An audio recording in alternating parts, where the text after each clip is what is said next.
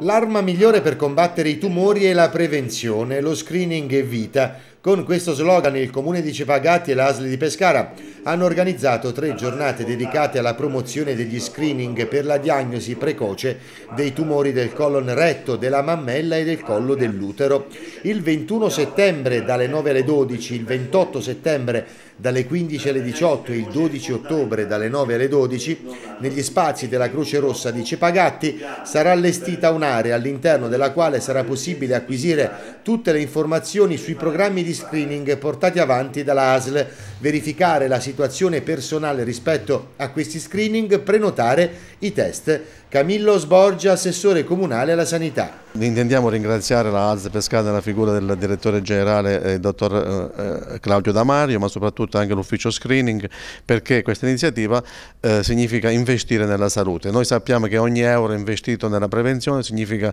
moltiplicare per mille se non per diecimila, quindi far sì che eh, si possa fare una, uno screening vero e proprio della popolazione a rischio e prevenire i tumori. Io eh, lancio uno slogan che oramai sanno tutti quanti che è meglio prevenire che curare. Per evidenziare l'importanza dello screening, il manager della ASL, Claudio Damario, ha fornito dei dati sui quali riflettere. Faccio un esempio eh, banale, già nell'ambito della eh, prevenzione dei tumori dell'intestino, eh, già con i primi inviti che abbiamo avuto in quest'ultimo trimestre abbiamo evidenziato quasi un centinaio di casi eh, di patologie neoplastiche eh, di cui il 90% sono casi trattabilissimi in fase molto precoce, quindi si eviterà tutto quello che è la catena poi purtroppo del percorso oncologico e eh, solamente in eh, 7-8 casi si trattava di tumori già in fase conclamata che comunque avranno un esito sicuramente molto più favorevole se non fossero stati diagnosticati